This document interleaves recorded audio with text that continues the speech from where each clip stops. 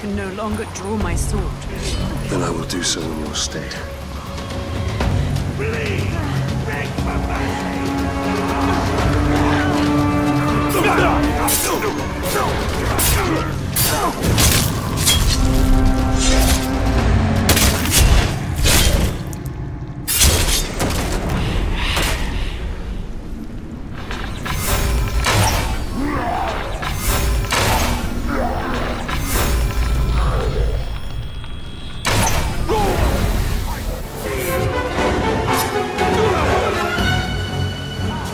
I am but a handicap to you, Talion. You were hurt because of me.